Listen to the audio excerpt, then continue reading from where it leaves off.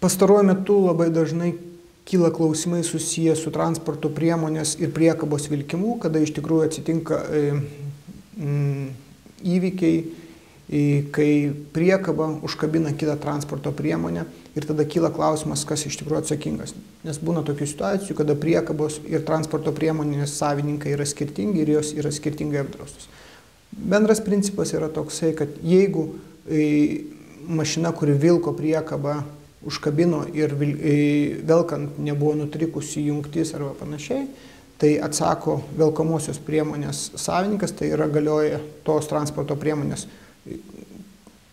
kuri vilko priekaba draudimas.